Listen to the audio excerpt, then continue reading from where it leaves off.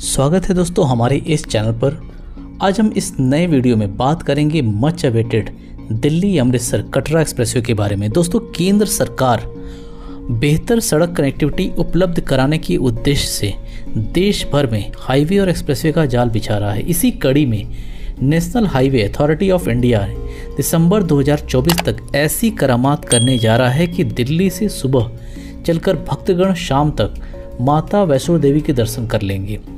Delhi Katra expressway पूरा होने के बाद दोनों शहरों के बीच की दूरी घटकर आठ घंटे कम हो जाएगी। तो आइए दोस्तों, देखते हैं थोड़ा डिटेल में और आपको मिलेगा लेटेस्ट अपडेट भी। दोस्तों, वीडियो अच्छा लगे तो वीडियो को लाइक करें, दोस्तों के साथ शेयर, कमेंट करना ना भूलें और चैनल अभी तक सब्सक्राइब नहीं किया है तो जल्दी से सब्सक्राइब करें।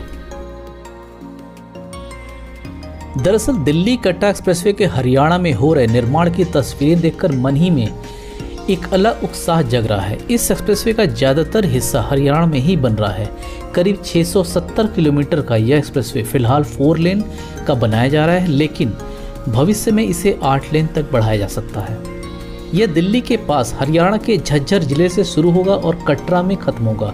एक्सप्रेसवे दिल्ली से अमृतसर होते हुए कटरा तक जाएगा। इस एक्सप्रेसवे पर सफ़र करने का एक अलग ही अनुभव रहने वाला है। हरियाणा में बन रहा पहले और दूसरे चरण का काम काफ़ी तेज़ी से चल रहा है। इस एक्सप्रेसवे के पहले चरण में तीन किलोमीटर का ग्रीन फ़ील्ड एक्सप्रेसवे बनाया जा रहा है, जो दिल्ली से लुधियाना और गुरदासपुर के बीच में बनाया जाएगा। इसके अलावा निन्यानवे किलोमीटर का एक कनेक्टिंग रोड नाकोदर से अमृतसर के बीच बनाया जाएगा। रोड की चौड़ाई करीब 90 मीटर की है और इसे बनाने में करीब पैंतीस हज़ार करोड़ रुपए का बजट का अनुमान लगाया गया है। इस एक्सप्रेसवे के दूसरे चरण के तहत गुरदासपुर से पठानकोट और फिर जम्मू से कटरा तक एक्सप्रेसवे का निर्माण किया जाएगा। इसके अलावा साढ़े बारह किलोमीटर का एक लिंक रोड पठानकोट से गोबिंदसर तक बनाया जाएगा। यह एक्सप्रेसवे हरियाणा के झज्जर रोहतक सोनीपत जींद करनाल और कैथल ज़िले से होकर गुजरेगा। इसके अलावा पंजाब के पटियाला, संगरूर, लुधियाना, जलंधर, कपूरथला तरनतारन अमृतसर और गुरदासपुर ज़िले तक जाने के लिए भी लिंक रोड बनाया जाएगा। इस एक्सप्रेसवे का निर्माण पूरा होने के बाद दिल्ली से वैष्णो देवी पहुँचना काफ़ी आसान हो जाएगा। इसका निर्माण पूरा होने के बाद दोनों शहरों के बीच की दूरी मौजूदा 730 किलोमीटर से घटकर 590 किलोमीटर रह जाएगी। इतना ही नहीं, दिल्ली से कटरा तक। जाने में अभी लगने वाला 14 घंटे का सफ़र घटकर महज छः घंटे रह जाएगा। यानी दोनों शहरों के बीच ट्रेवल टाइम करीब आठ घंटे कम हो जाएगा। इसका मतलब हुआ कि अगर दिल्ली से सुबह छः बजे कटरा के लिए निकलते हैं तो दोपहर बारह से एक बजे तक कटरा पहुँच जाएँगे। फिर दो बजे भी वैष्णो माता दरबार की चढ़ाई शुरू करते हैं तो रात नौ बजे तक आप दरबार में पहुँच सकते हैं।